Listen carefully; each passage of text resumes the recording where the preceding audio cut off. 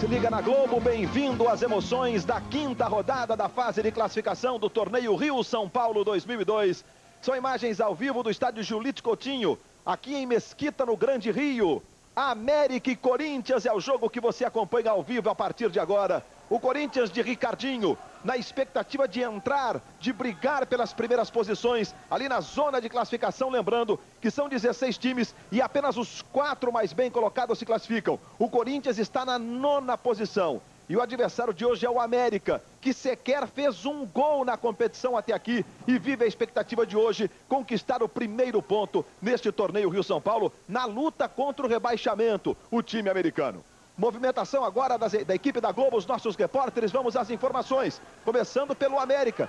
Não fez nenhum gol, não ganhou nenhum ponto, sonha em conquistar a primeira vitória hoje contra o Corinthians, Tino Marcos. Pois é, Luiz Roberto, não bastasse ser o time que tem a pior defesa, o pior ataque, o único que não marcou, que não pontuou, o América ainda tem uma baixa de cinco jogadores que sofreram, que estão com dengue. Cinco jogadores com dengue no América. Por outro lado, três jogadores estão estreando no time, tentando melhorar o desempenho da equipe. São eles o Fumaça, o Robson e o Tinho. Luiz Roberto. Vamos confirmar a escalação do time do América para você. O time americano começa o jogo com esta formação. Com três zagueiros, Marcelo Leite, um goleiro, três Leonardo, 21 Jackson Líbero e dois Tinho, zagueiro pela esquerda. 26 Robson, ala direita, 5 Luciano Netter, um dos volantes, 29 Fumaça, 14 Victor. Aí nós temos três homens no ataque, 28 Fábio Luiz, 25 Zaltron e 23 Murilo. O técnico é Mário Marques. E o Corinthians, Pedro Bassan. O Corinthians respeita o ataque do América, que ainda não fez nenhum gol no Rio São Paulo, mas o ataque que o time teme mesmo é o dos mosquitos, dos pernilongos. Por isso, todos os jogadores, antes de entrar em campo, passaram repelentes contra mosquitos com medo da dengue. Corinthians que hoje vem com força total no ataque. O técnico Carlos Alberto Parreira escalou três jogadores. David e Gil vão estar ao lado de Luizão, que voltou da seleção. Confirmando a escalação do Corinthians para você. O time começa com esta formação. Um Dida, Aí, 8, Rogério, lateral direito. 3, Scheid. 14, Fábio Luciano, agora titular definitivamente na quarta zaga. E 6, Kleber. Meio de campo tem 5, Vampeta. 25, Fabrício, os dois volantes. 11, Ricardinho, homem de armação. Aí, três homens no ataque. 10, Gil. 9, Luizão. E 18, David. O técnico é Carlos Alberto Parreira. Casa Grande, a sua expectativa para este América e Corinthians. Já já o Casagrande fala, porque neste momento está sendo respeitado um minuto de silêncio. Em homenagem a Zizinho, que faleceu anteontem, Tomás Soares da Silva, aos 80 anos, aqui no Rio de Janeiro. O melhor jogador da Copa de 50, Luiz. 11 anos atuando no Flamengo. Tomás Soares da Silva, o Zizinho, mestre Ziza, aos 37 anos, foi jogar no São Paulo, conquistando um título paulista em 1957.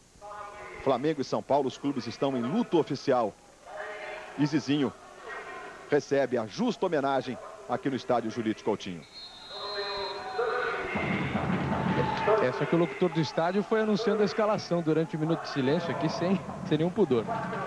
E neste momento autoriza o árbitro da partida, bola rolando, começa Corinthians e América aqui em Edson Passo, olha o Corinthians.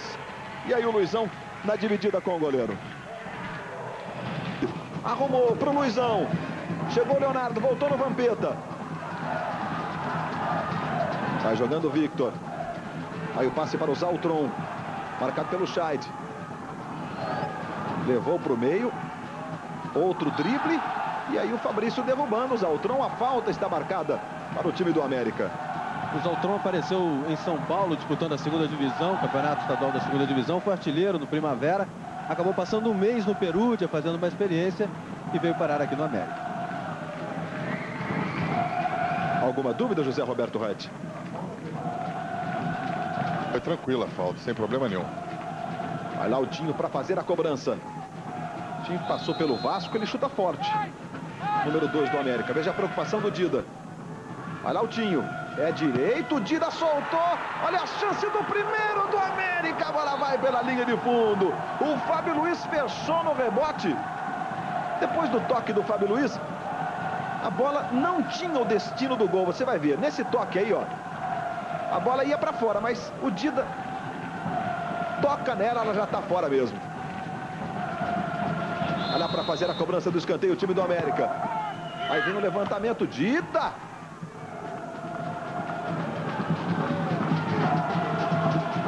Veja o Gil. Vai para cima da marcação do Leonardo. Chega agora o Robson. Jogou com o Ricardinho. Aí faz o jogo com o Vampeta. Rogério, Fabrício. Tem o David aberto na direita como um autêntico ponta. Recebe, vai para cima. Tenta chegar na linha de fundo. Outro drible, o cruzamento vai direto. Marcelo Leite solta. E o Jackson sai jogando para o time americano. Tentou o cruzamento, Marcelo Leite vai saindo, foi lá para ficar com a bola. Tentou fazer o passe. Tinha chance do chute diretamente para o gol, Fábio Luiz. Olha o contra-ataque do Corinthians. Ricardinho, levantamento no David. Aí Luizão na área, chega para tirar o Jackson. Aí o capitão do Corinthians, o Luizão e o Parreira, usando ali a área técnica, desde o início gritando muito com o time.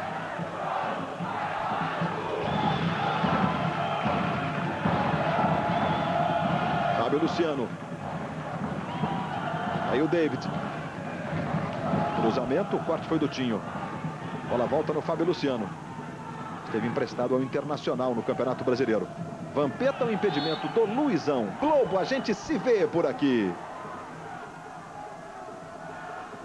Embratel. Com Embratel você fala mais e paga menos. José Roberto Reit, posição do Luizão, mesma linha? Mesma linha, jogada normal, legal. O que atrapalha para o assistente, no caso aí foi o Marcos de Banhas que errou, é que o zagueiro sai e o atacante se projeta. Mas na mesma linha. Não tem a máquina que nós temos aqui para tirar a dúvida, mas a jogada era legal. Marcelo Leite em Luizão. Marcelo Leite cercou o Luizão na primeira, foi para a definição da jogada, a bola foi pela linha de fundo. E o Alexandre Barreto está marcando o pênalti para o Corinthians. De Marcelo Leite em cima do Luizão. E está punindo o goleiro americano com o cartão amarelo, José Roberto Rai. Ah, vamos acompanhar a jogada. O Luizão domina a bola, leva, ele toca na bola, não houve penalidade. Ele toca na bola, ele tocou a bola primeiro, depois um choque em decorrência da jogada. Gostaria, tá, vamos acompanhar novamente, olha lá. Vai ter a cobrança aqui, ele vai.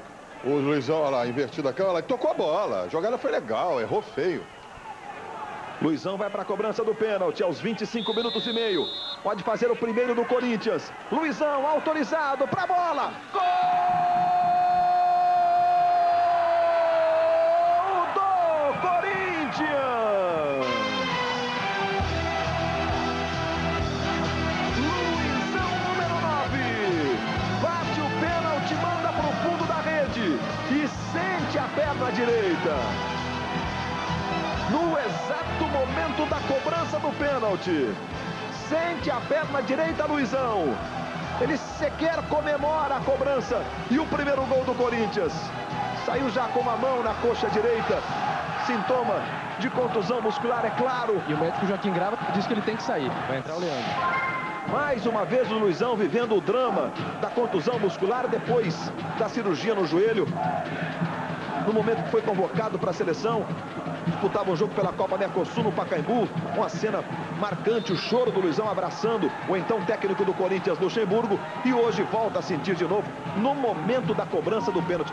Agora Casagrande, com 26 minutos, quase 27, o jogador já está totalmente aquecido dentro do jogo. Explica pra gente. É, mas o caso do Luizão é diferente. O Luizão veio fora de forma, desde é, nesse início de temporada, vem jogando uma atrás da outra, foi para a Arábia, jogou com a seleção brasileira, jogou em Goiânia na semana passada, jogou domingo em Jundiaí também, é, em Piracicaba contra o Jundiaí. Então é uma sequência de jogos para um jogador que está fora de forma. Tinha que ser gradativa essa entrada ali na partida. Isso é normal. É a responsabilidade de quem está chamando para jogar e quem está colocando para jogar também. Falta pro Tinho na cobrança pro time americano.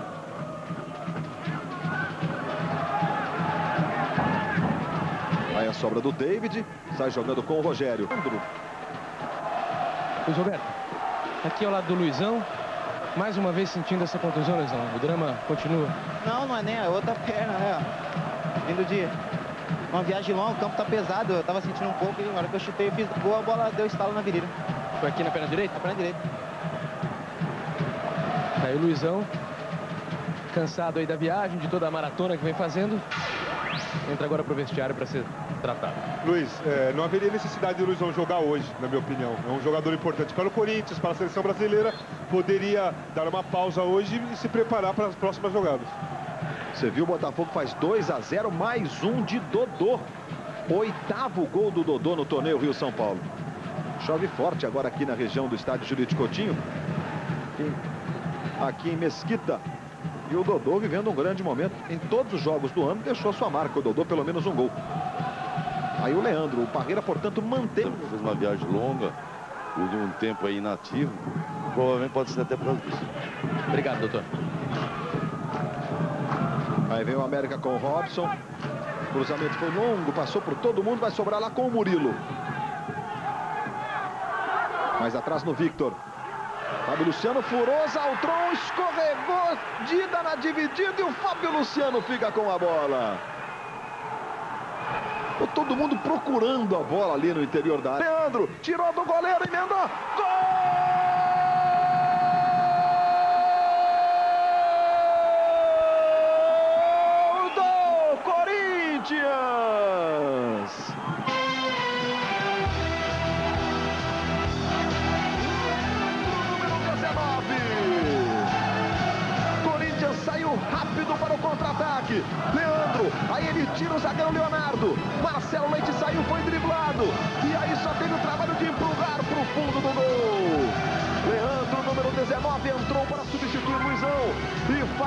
Segundo do Corinthians. Aos 33 minutos, América 0, Corinthians 2 bom passe do, do Vampeta, né? Lembrando os velhos tempos, assim, arrancando e vendo Os 10 mais hoje apresentando as 10 comemorações mais legais na história das Copas. A gente quer saber se você concorda. Daqui a pouco no show do intervalo. Leandro levando o Corinthians. Ricardinho, marcado pelo Luciano Netter, mais atrás no Kleber. Veja o Ricardinho. Começa com o Rogério. Aí Vampeta, quando apita, Alexandre Barreto está encerrado o primeiro tempo em Edson Passos. Dois para o Corinthians, zero para o América. O show do intervalo começa com Tino Marcos e Pedro Bassan. Rapidinho ouvindo aqui o técnico do América, o Mário Marques. Mário, algo se fazer para melhorar um pouco essa situação no segundo tempo? Olha, te tentar, vamos ver se fazer uma modificação para ver se o campo está pesado por dois, só sai um pouquinho mais na marcação e passa, não pode perder a chance que está tendo. Eu acho que a América teve duas chances, não pode perder. Eu acho que um pênalti, eu não, não posso falar, né? Essa televisão deve ter mostrado se foi pênalti no Zaltron ou não. E a diferença é que lá é dado e aqui não, não dá. Quer dizer, é um pouquinho difícil, mas a equipe tem que ter tranquilidade. Aqui está muito afobada, vamos ver se dá para consertar. Aqui ao lado do técnico do Corinthians, Carlos Alberto Parreira. Parreira, o Corinthians ganhando no primeiro tempo, mas perdeu o Luizão. É, isso aí o Luizão, ele realmente agora ele tem que se tratar, tem que fazer uma, um programa de treinamento. O Luizão ele vem desde o início da temporada, não seguindo uma rotina permanente de treinos e não está jogando na sua melhor forma física. Eu acho que agora, para que ele renda tecnicamente, é preciso que ele se recupere clinicamente e volte a treinar fisicamente para que ele possa render aquilo que a gente sabe que ele rende no, normalmente. É um jogador muito importante. Com relação ao jogo, eu acho que o 2 a 0 não faz jus ao que nós apresentamos no primeiro tempo podíamos ter saído com uma vantagem maior e não pode bobear porque, como aconteceu aqui, num corne, numa falta, eles podem ir lá e complicar o jogo ainda. O Luizão reclamou um pouco do excesso de viagem. Seria o caso de ter poupado o Luizão para essa partida, até Parreira? Ou teria sido não ir com a seleção nos dois jogos que ele foi. Veja bem, não estou aqui defendendo, não. É que realmente foi um calendário para ele intensíssimo. O Luizão está fora praticamente há 10 dias, só viajando, jogando e sem treinar. Isso que é o importante. Obrigado. Carlos Alberto Parreira, técnico do Corinthians. Momento que o Luizão sentiu a contusão muscular exatamente na hora que ele bateu o pênalti. Dia chuvoso, sábado de carnaval grande. Agora a análise dos lances do primeiro tempo de América 0, Corinthians 2, Casagrande. É com você. É, eu acho que o Corinthians tecnicamente é superior ao América. Isso é claro, o América vem fazendo uma péssima campanha no Rio São Paulo. Mas o jogo deixou a desejar, né? O Corinthians demonstrou que poderia ter feito mais gols, mas não forçou tanto. Esse foi o primeiro lance, cabeçada do Luizão. Esse foi o chute, quer dizer, mal defendida pelo Dida, um jogador do goleiro de seleção. Sabe que não pode espalmar a bola para o meio da área. É óbvio, tem que jogar para o lado, tirar da visão do gol do atacante. E não fez isso.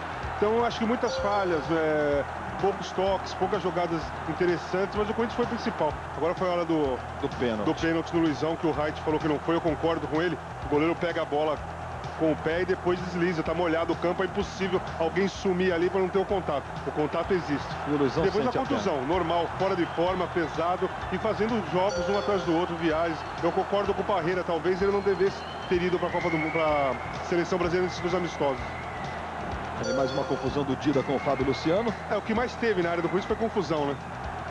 E aí o segundo gol, contra-ataque. Belo gol, belo passe do, do Vampeta, belo drible do Leandro, chutou bem, é um jogador rápido, é, que finaliza bem a jogada, um jogador muito rápido.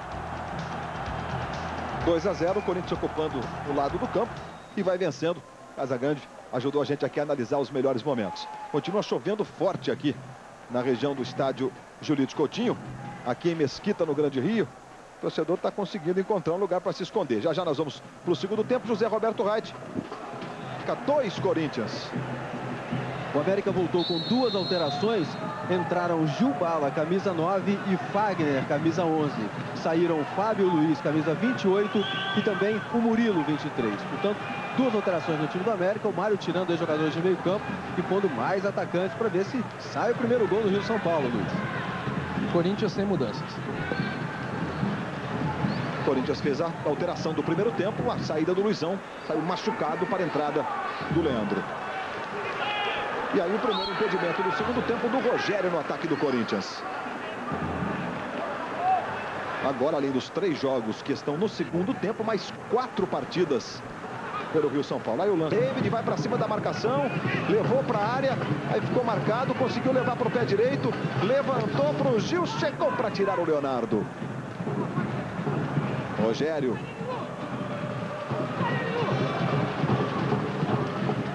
Aí o Kleber. Recebe na frente, vai para o fundo.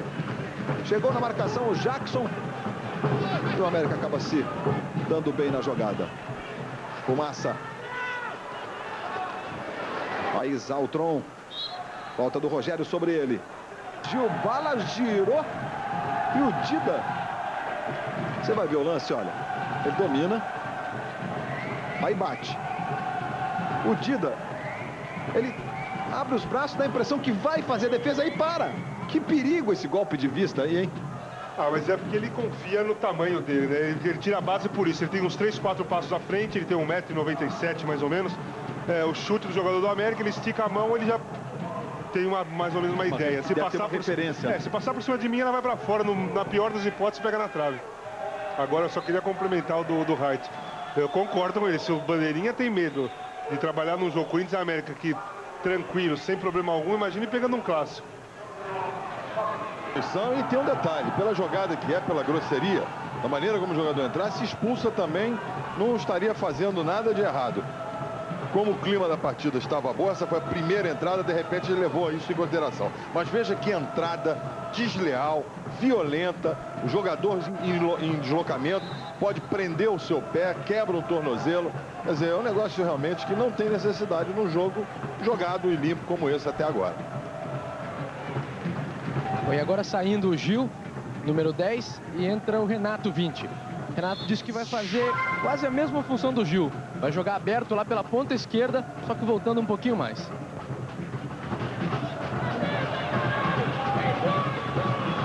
O Renato parece bem aqueles as equipes antigas, né, Luiz? O Renato, o Gil era mais um atacante, tipo um ponto esquerdo. O Renato é um quarto homem do meio campo vai jogar aberto, vai apoiar como o Gil, mas não tem a mesma característica ofensiva. Fecha bem o meio, arma bem pelo lado esquerdo.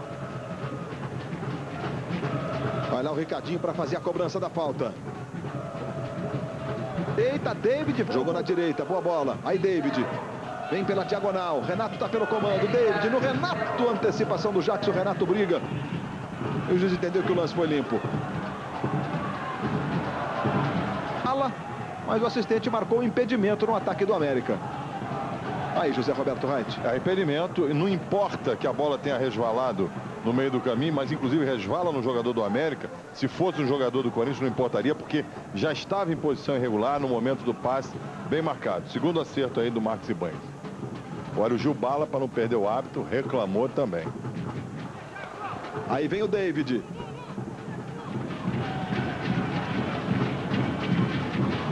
Passou Leandro pela direita, ele jogou no Ricardinho.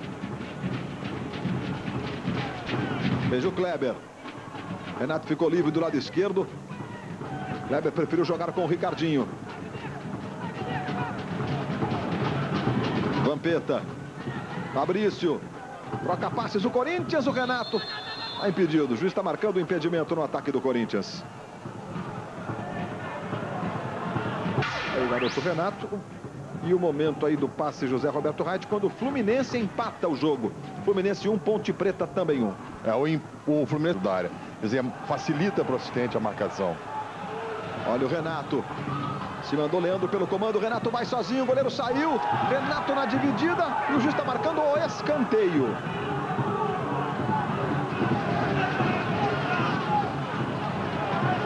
Já lá o sintoma do Renato. E aí, José Roberto Reit? Não, não houve nada. Na minha opinião, a jogada se processou normalmente. A bola foi tocada pelo zagueiro. Faz a jogada, toca na bola e depois ao choque. Não acredito, não vi nada de regular. Ricardinho levantando, olha o Chad, tocou de cabeça, a bola foi para fora. Globo, a gente se vê por aqui. Guaraná Antártica, original do Brasil. Resultados do torneio Rio-São Paulo, aqui, Corinthians 2 a 0 no América.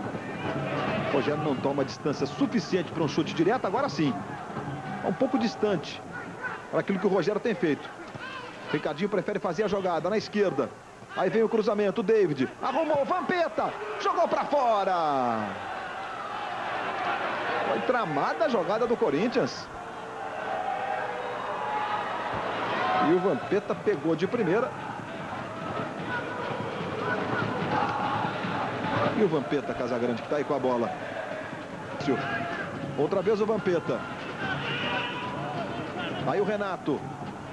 Vai passando pela direita o David, Renato leva para o meio, pode tentar o chute de esquerda, bola desviada e o escanteio. Só para concluir, eu acho que o maior defeito do Vampeta hoje é que ele volta lentamente. Ele é, um, ele é um volante ainda, apesar de armação, ele é um volante. Ele arma a jogada quando perde e volta andando. Eu acho que com o tempo ele volta a ter aquela velocidade, aquela noção de distância né, do campo para ajudar na marcação.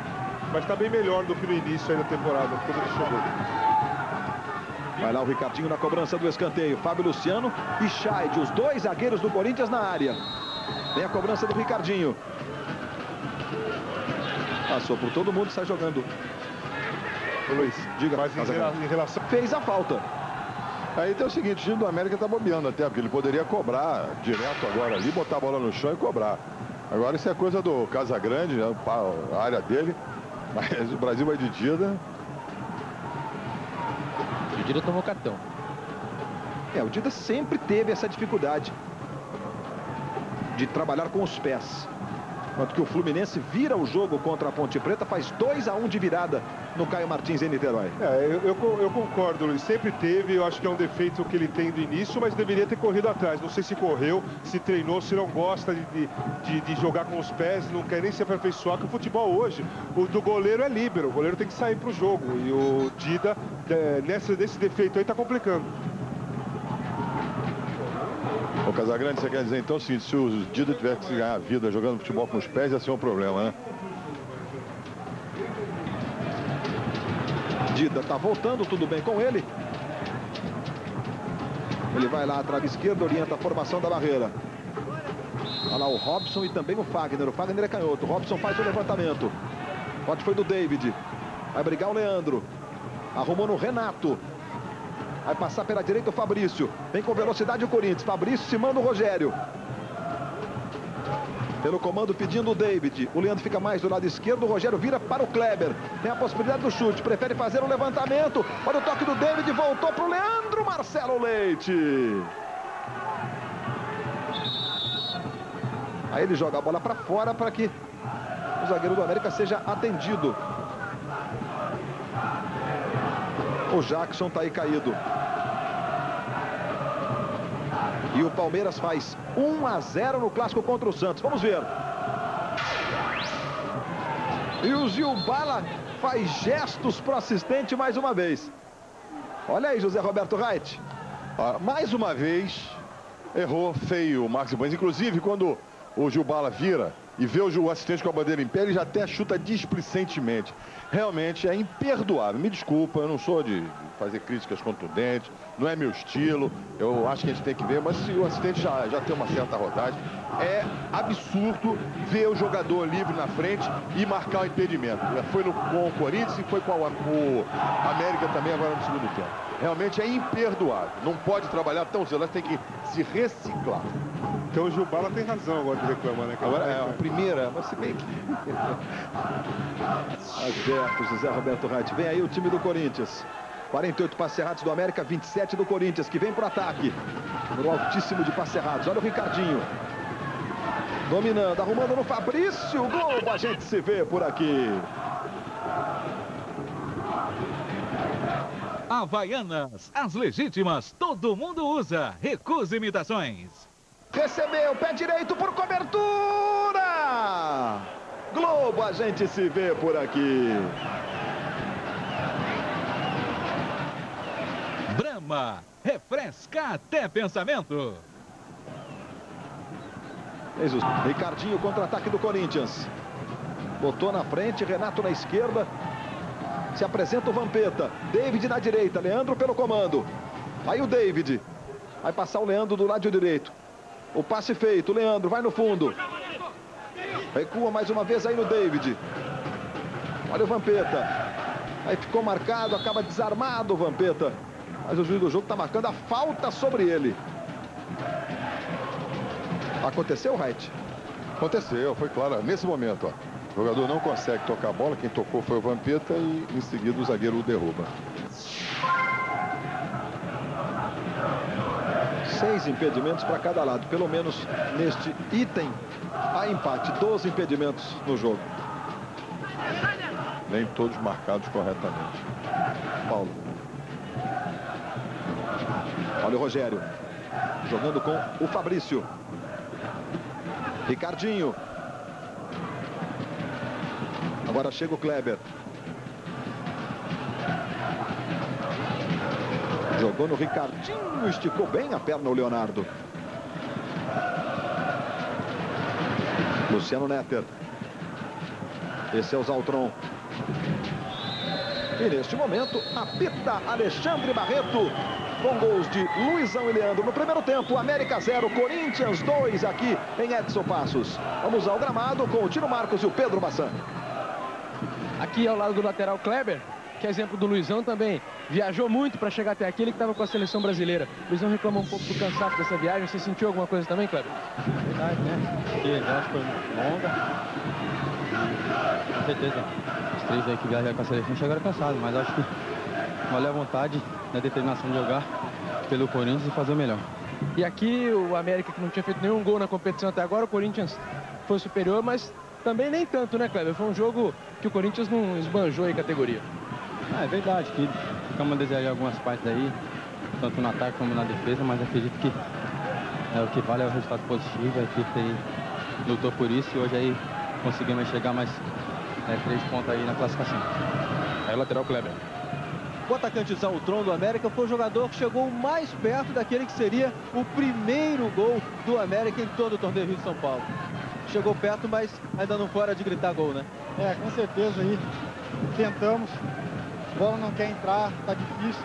Pecamos alguns, em dois lances, acabamos tomando dois gols mais uma vez aí, mas é agora é levantar a cabeça e continuar treinando e buscar os três pontos agora com o Guarani em casa. Mas, portanto, o Zaltron, o América continua em branco.